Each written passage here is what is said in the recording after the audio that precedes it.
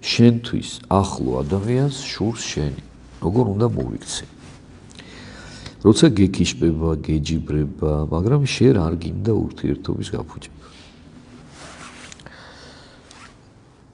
უნდა ეცადო რომ შენ მისმა დამოკიდებულებამ არ დაგანგრიოს ეს არის ყველაზე მთავარი იმიტომ რომ როდესაც შურით არის შეპრობილი ადამიანი და გეკიშება ხშირ შემთხვევაში შურის ბიძაშვილი არის ბოღმა. მე როდესაც შურთ ადამიანებს მე პარალელურად დაბოღმილები არიან ხოლმე და სიყვარული უკრებათ ხოლმე იმ ადამიანისა ვისით შურთ.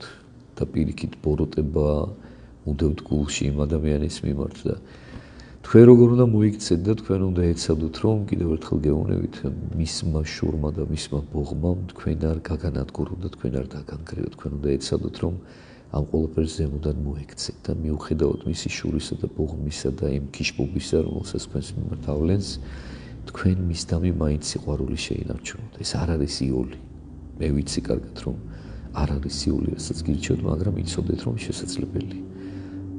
და ქრისტემ სწორედ ამისკენ მოგვიწოდა და ამის მაგალითი მოგცა ჩვენ თავად თავისი ცხოვრებით.